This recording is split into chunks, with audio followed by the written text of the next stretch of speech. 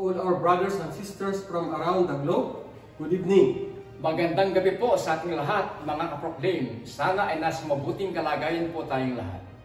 We thank you, dear brothers and sisters, for spending your time with us nightly. At ngayon, patuloy po kami nag-aanyaya sa kalabing pitong gabi sa Proclaim.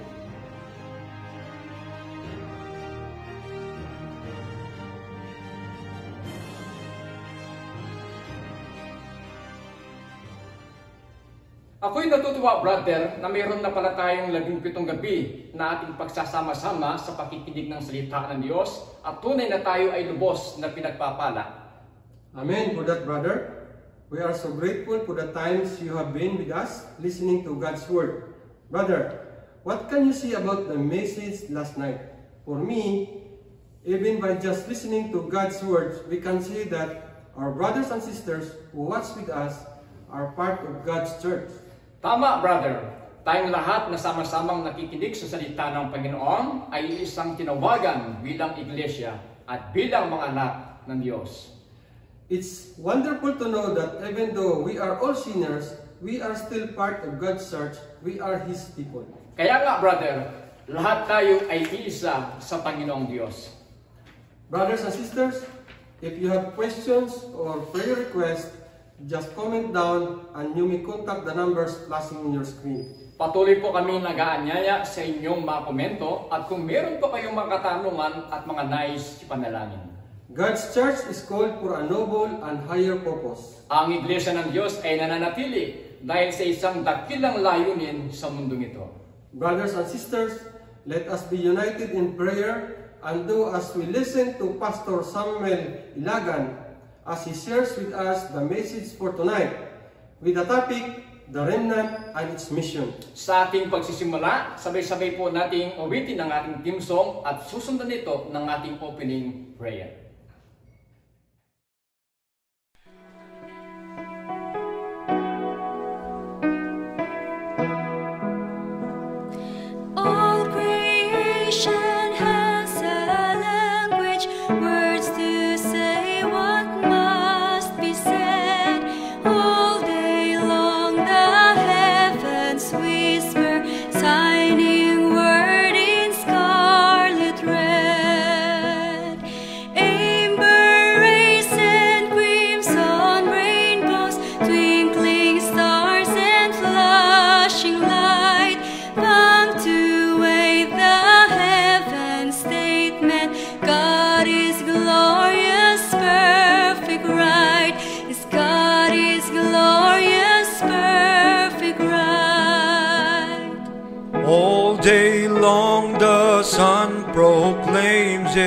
Like a bridegroom dressed in white, coming from his tent to greet them. All his guests feel his delight. Words of love and warmth he whispers, warning all who hears his voice. Oh, be glad and share my table, dance and celebrate, rejoice, dance and celebrate, rejoice. All creation sings his praises, earth and heaven praise his name. All who live come join the chorus, find the words his love proclaim.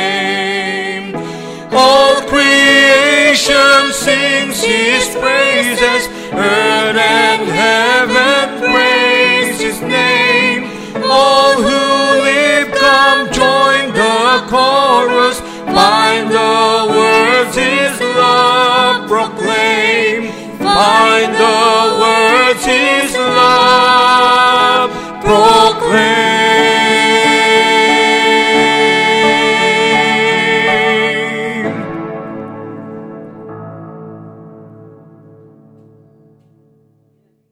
Magandang gabi po sa ating pong lahat.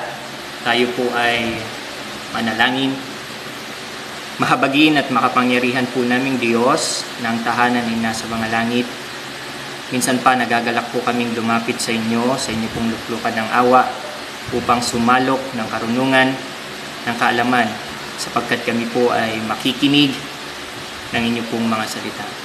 Alam po namin, Panginoon, na wala po kaming kakayahan na baguhin ang mga puso ng tagapakinig. Kaya nga po, Panginoon, kami po'y lalapit sa inyo upang antigin ang kanila pong mga puso, baguhin sa pamamagitan ng inyo pong mga salita. Akin din pong inilalapit, Panginoon, ang inyo pong ginamit o gagamitin na magsasalita sa oras na ito. Patuloy po siyang samahan, kasihan ng banal na Espiritu upang ang kanya pong mga sasabihin ay maging inspirasyon po namin upang lumakas ang aming pong mga pananampalataya at lalong higit mapalapit po kami sa aming pong dakilang Diyos. Muli po Panginoon, maraming salamat sapagkat pinagbigyan niyo muli kami, dinignig niyo muli ang aming pong mga panalangin. Ito po ang aming pong itinadalangin, alang-alang pong lahat sa matamis na pangalan ng aming tagapagligtas na Jesus. Amen.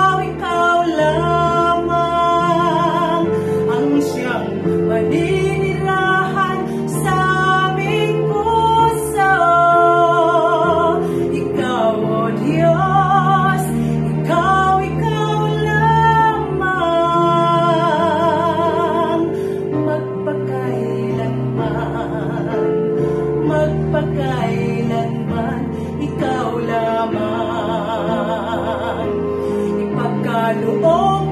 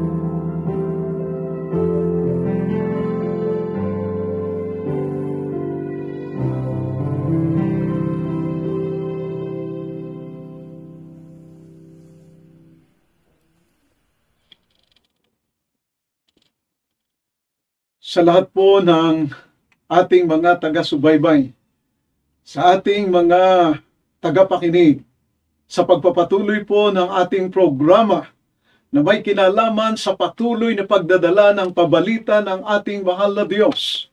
Sadyang kailangan po natin ang ganitong pagkakataon na patuloy na inuunawa at pinahahalagahan ang pabalita ng Ebanghelyo ng Kaligtasan na ito minsan ay ginanap ng ating Panginoong Hesus para sa lahat.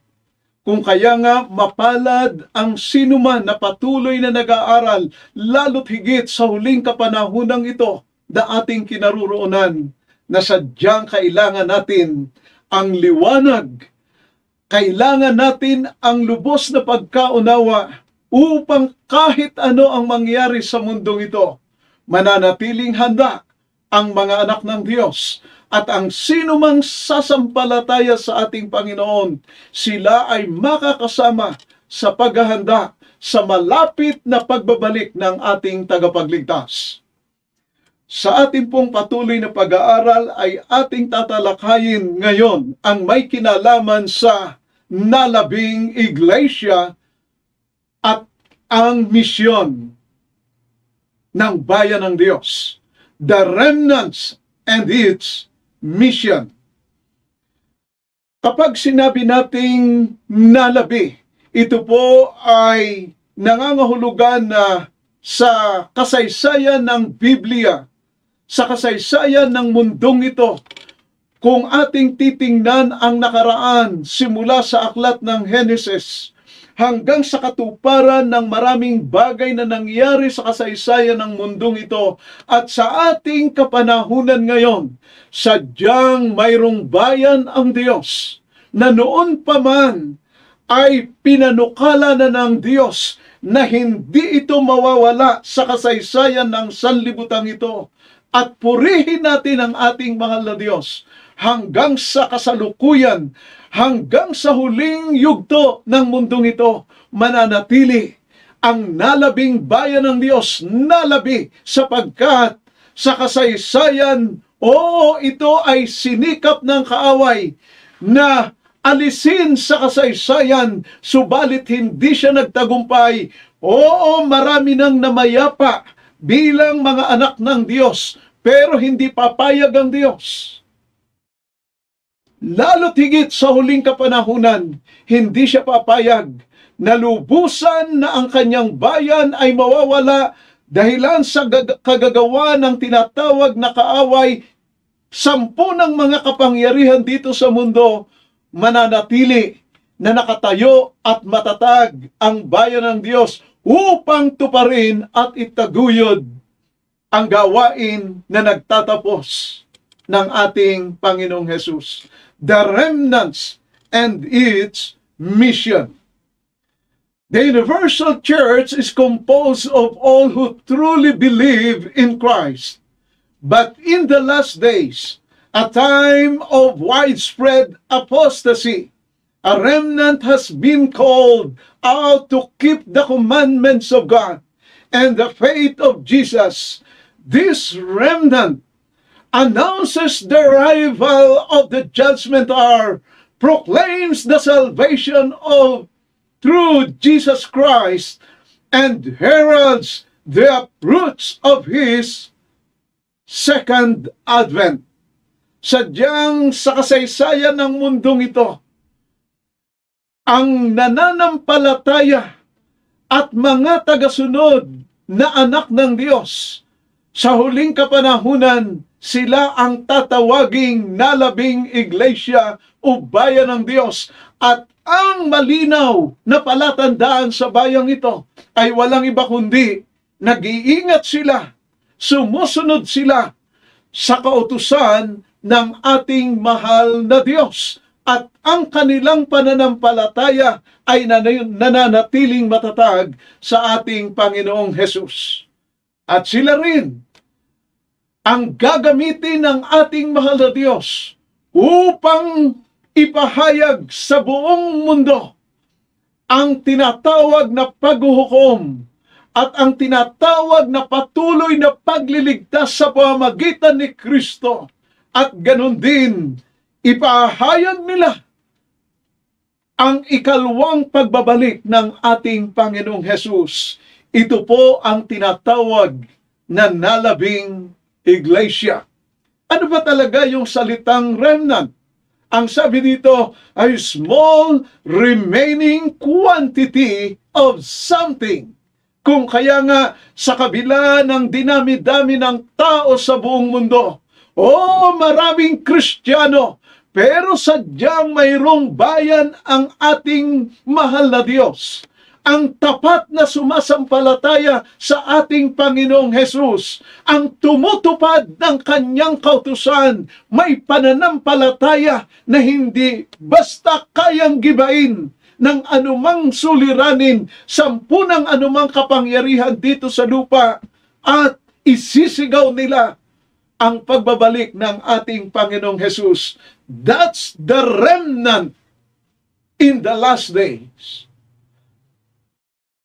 Ang sabi pa rito, Revelation 12:17, Then the dragon was enraged at the woman and went off to wage war against the rest of her offspring, those who keeps God's commandments and hold fast their testimony about Jesus.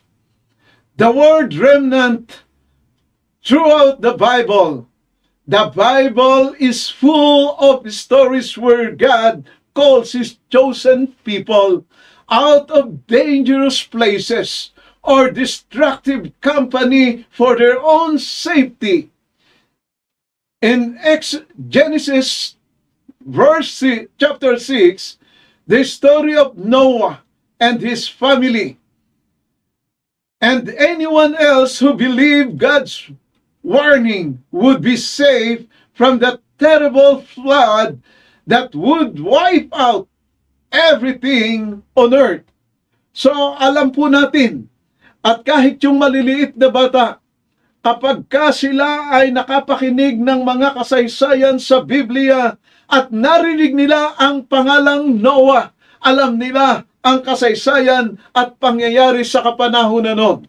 O ang kasaysayan ni Nonong Nue at ng kanyang pamilya na kung saan doon pa lang sa paggunaw ng Diyos sa mundong ito sa pamamagitan ng tubig, ang Diyos ay nagpahayag at malinaw na mayroong pinili na kanyang mga anak kung saan sila ay hindi naging makasarili, sumampalataya sa Diyos at sila ay naligtas at hanggang sa huling kapanahunan ang pananampalatayang yon ay minana at tinaglay ng iba pang mga tao sa mga sumunod na henerasyon.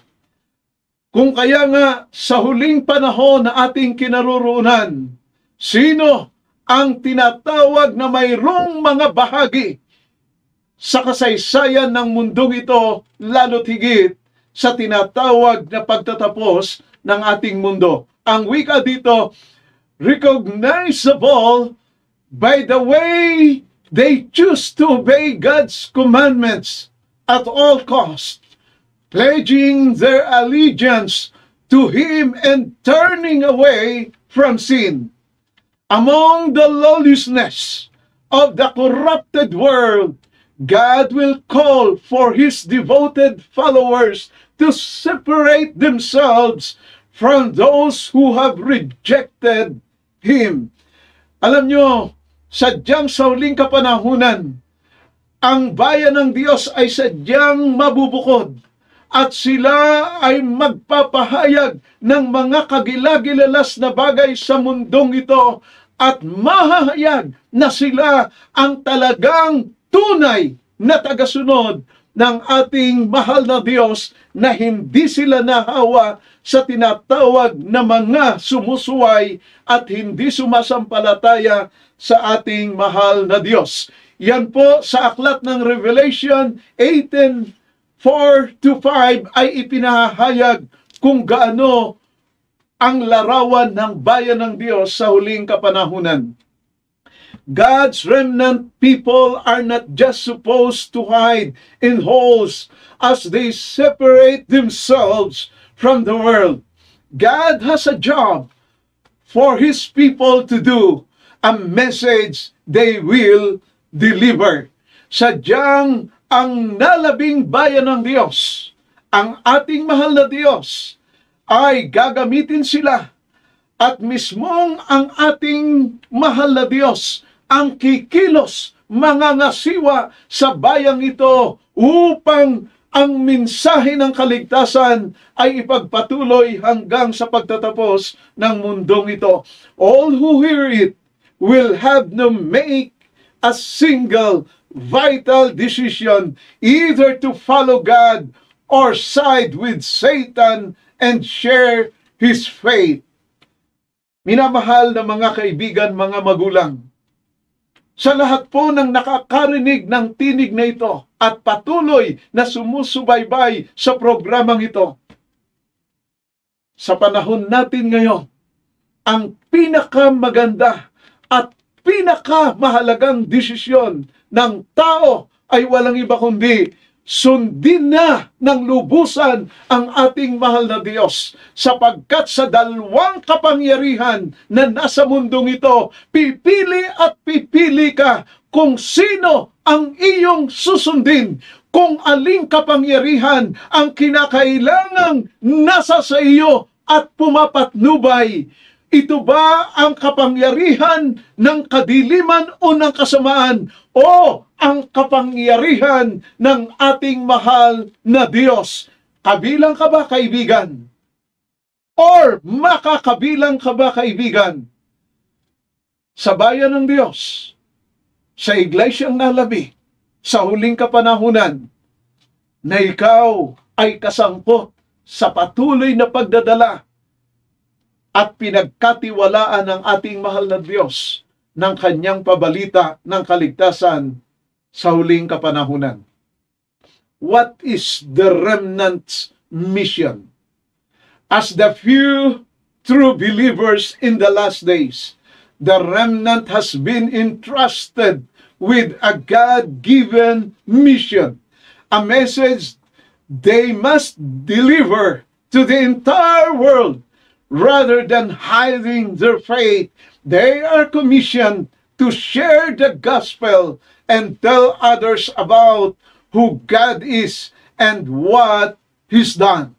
Ito ho ang napakaganda sa mga anak ng Diyos na nagtalaga ng kanilang buhay, nagtalaga ng kanilang sambahayan, at yung kanilang panahon, napakaganda na naunawaan natin na tayo ay pinagkatiwalaan ng ating mahal na Diyos bilang tunay, totoo, na mananampalataya ng ating Panginoong Hesus sa uling kapanahunan, the remnant people of God.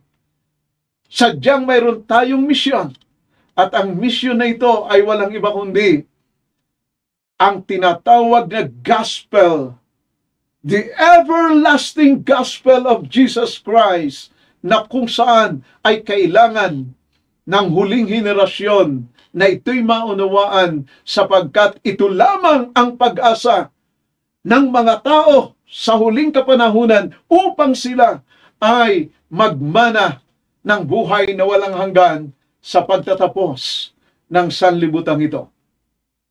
Kung kaya nga mayroong tinatawag na pabalita ng tatlong anghel sa aklat ng Revelation na kung saan ang una, ang ikalwa at ang ikatlong anghel ay mayroong natatanging kanya-kanyang pabalita sa ating kapanahunan bago magtapos ang mundong ito. In Revelation 14:6 to 7, sa pagkakapahayag sa mga talatang yan, the first angel spread the news that God is our Creator, our only source of salvation, and that we ought to worship Him.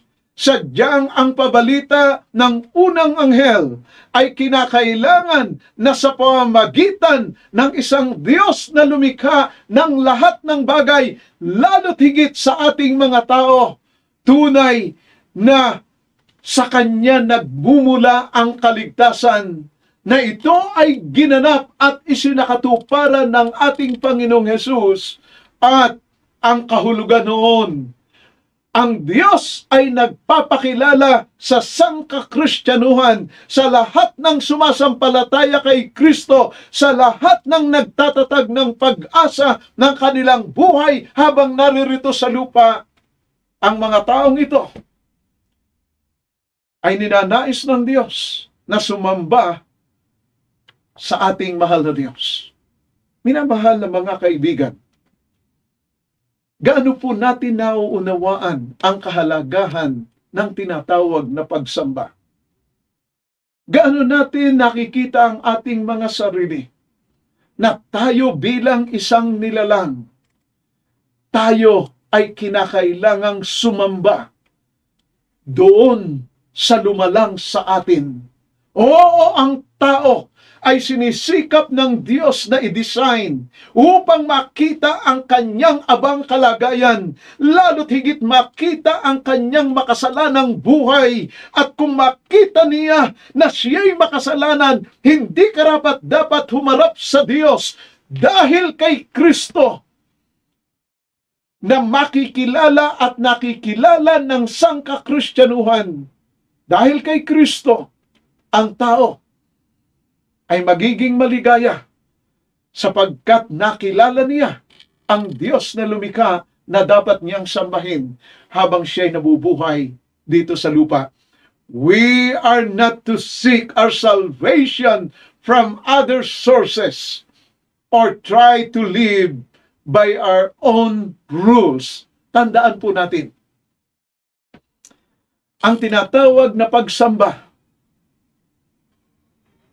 ay pinakamahalagang bunga ng pagiging Kristiyano, ng pagiging anak ng Diyos, at ng pagiging mananampalataya ng ating Panginoong Hesus. Sasamba siya sa lumalang ng langit at ng lupa sapagkat sa kanyang sarili wala siyang magagawa, wala siyang kakayanan upang mabuhay sa kanyang sariling kaparaanan.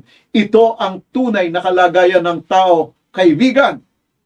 Kung ikaw, kung ikaw ay nilalang ng Diyos, kung ikaw ay tinatanggap mong bilang tao dito sa lupa, pinakamahalagang nilalang ng Diyos sa ibabaw ng lupa. Napakasarap na makilala ang ating Panginoong Hesus tanggapin bilang tagapagligtas at ihahatid ka ng ating Panginoong Hesus sa Ama, sa ating mahal na Diyos upang sambahin siya sa Espiritu at katotohanan. Ang ikalawang anghel, ganito po ang pabalita, Revelation 14.8, The second angel warns the earth that Babylon, the biblical symbol of selfish ambition, is going to fall. God's judgment is coming. And all the worldly things people have worked for are going to become worthless. The only thing people can do is to flee Babylon and turn to Christ as God commanded His remnant to do. Ito po yung sadyang pabalita ng ikalawang anghel. Sa kasaysayan, mayroong tinatawag na Babylonia na kung saan ito'y makapangyarihang bansa na kung saan hanggang ngayon ito ay nagsisikap na yung kanyang karakteristik, yung kanyang likas ay patuloy na sumira sa buhay ng maraming tao, patuloy na dalhin ang tao sa masamang klase ng pamumuhay or ang tao ay hikayatin sa halip na sa Diyos ay sa makasanlibutang pamumuhay. Minamahal na mga kaibigan, mga magulang, sa lahat ng tagapakinig at taga-subaybay ng programang ito, bumagsak na ang Babylonian yon. At sa maigsing panahon, sa huling kapanahunan, spiritually, may kapangyarihan na dinadala ito sa sangkatauhan upang gustuhin ng tao ang makasanlibutang pamumuhay upang magpasya ang mga tao na gumawa ng mali. At alam niyo po ba kung sino ang humihikayat sa tao na ginamit noon ang Babylonia at hanggang ngayon by nature ay ginagamit niya ang salitang Babylonia. Walang iba kundi si Satan na kung saan alam niya maigsing time na lang ang nalalabis sa kanya at sisikapin niyang sirain upang patuloy na labanan kahit sa ganong paraan ang ating mahal na Diyos. Ang target niya ay ang mga sumasampalataya sa Diyos upang patuloy na ilayo sa ating mahal na Diyos. At ipinagdidiwang niya ang mga tao na kung saan ay nabubuhay na may likas ng tinatawag na Babylonia. At sa tinatawag na paghuhukom, kinakailangan na bago dumating ang time na yon, ang panawagan ng ating mahal na Diyos sa pamamagitan ng ikalawang anghel, Bayan ko, magsilabas kayo sa Kanya ang magpapalaya sa atin sa tinatawag na Babylonian nature of sin ay walang iba kundi ang ating Panginoong Hesus. Siya lamang ang may kakayanan upang tanggihan natin ang kasalanan. Ang ating Panginoong Hesus lamang ang may kapangyarihan upang layuan natin ang anino o ang tinatawag na suligi ng kasamaan upang tanggihan natin ang anumang alok ng sanlibutang ito at purely mabuhay tayo na nasa kapangyarihan sa biyaya ng ating tagapagligtas.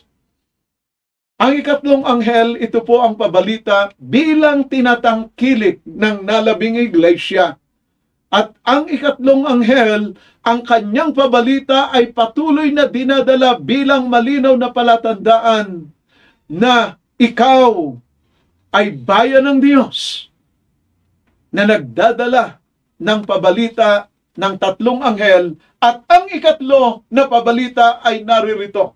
Revelation 14:9 to 12. The third angel's message is the most serious of all it warns people that their time is almost up. Christ is going to be coming soon, and anyone who rejects him and sides with Satan will suffer the consequences. You see, minamahal na mga kaibigan sa lahat ng mga tagapakinig. Sadyang Ganun na lamang kaseryoso at kahalaga ang pabalita ng ikatlong anghel ang ating Panginoong Hesus ay darating sa ikalawa. At ang kahulugan nun,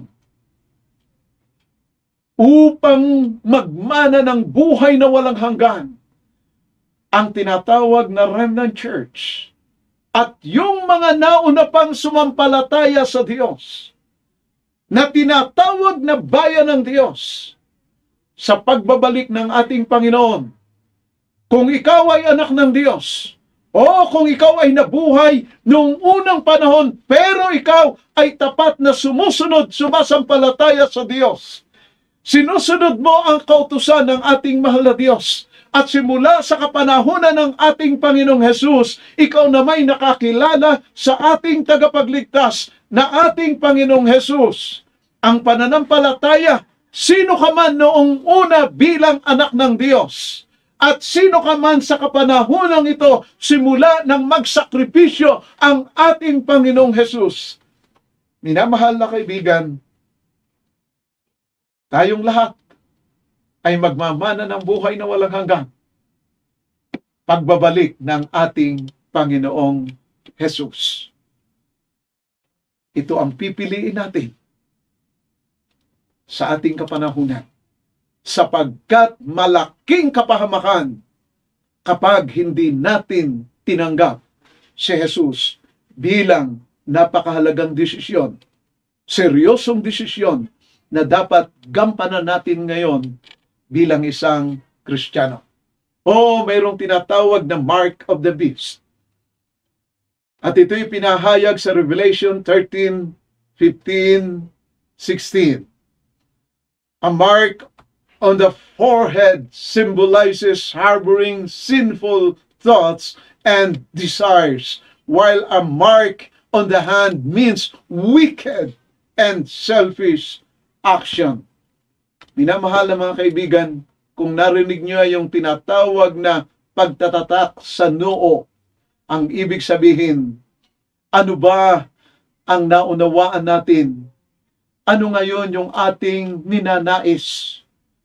Nalagay ba sa ating isipan ang tinatawag na kahalagahan ng pabalita, pagliligtas ng ating mahal na Diyos, yung kanyang dakilang pag-ibig. Kung ito ay nasa ating isipan, kaibigan, ito ang ating maging pasya. At sampu ng ating mga kamay, tandaan natin, kung ano yung nasa ating isipan, ito ang magiging gawain natin na sumisimbolo sa ating pagkilos, paggawa, araw-araw. Huwag nawang mangyari na ang nakalagay sa ating isipan ay ang tatak ng kaaway, ang tatak ng kasinungalingan, ang tatak ng kasalanan na kung saan ay ito rin ang magiging bunga ng ating gawain. Ang tinatawag na mark of the beast ay kapahamakan ng isang tao.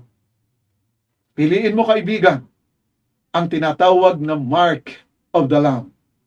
Those who don't receive the beast mark, God's sign of protection and love.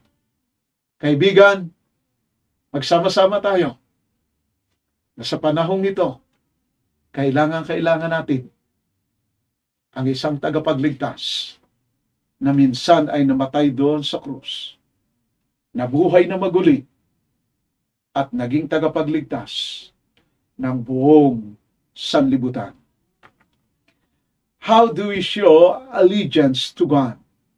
We are to care for others and love Him above all else. Kung gusto nating maipakita ang tinatawag na tayo ay nagpapahalaga at tunay na mga tagasunod ng ating mahal na Diyos, magmamalasakit tayo sa ating kapwa. Ang programang ito, ang pangangaral na ito, ay lubos na pagmamahal, pagmamalasakit sa sangkatauhan sa ating kapwa. Sapagkat itinataas natin dito, ipinauunawa natin dito ang kalooban ng ating mahal na Diyos. Ang Diyos na may taglay ng pinakadakilang pag-ibig sa buong sanlibutan. Kaibigan, mahal na mahal ka ng ating mahal na Diyos.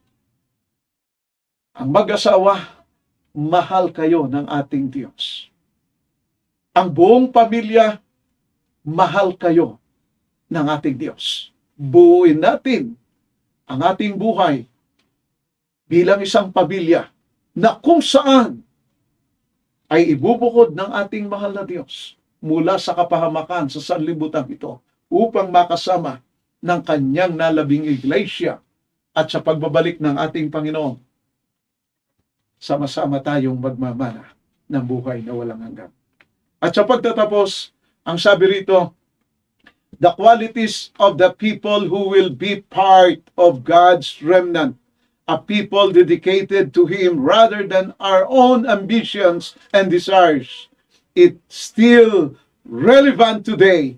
We are to demonstrate our allegiance to God in everything we do.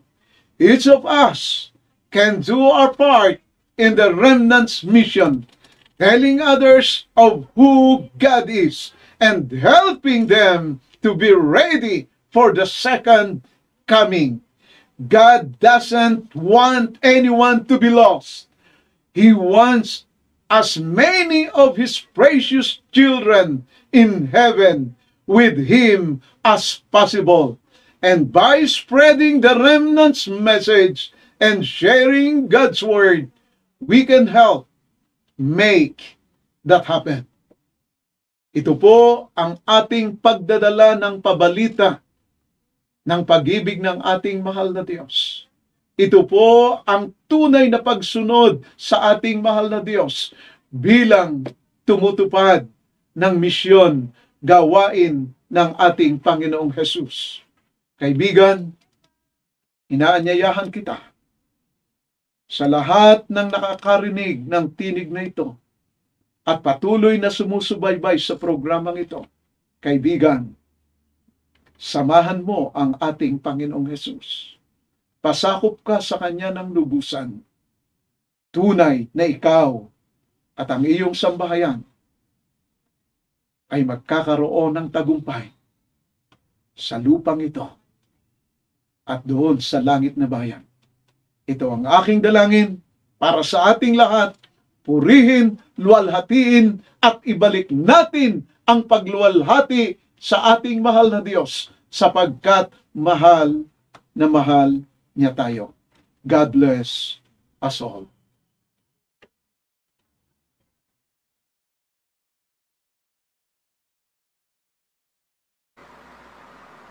Encircled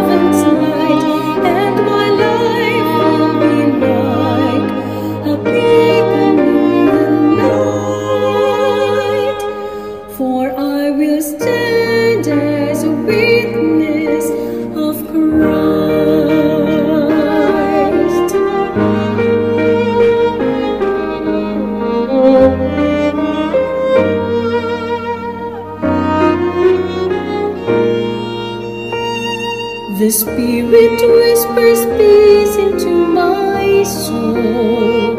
In every trial, in each uncertain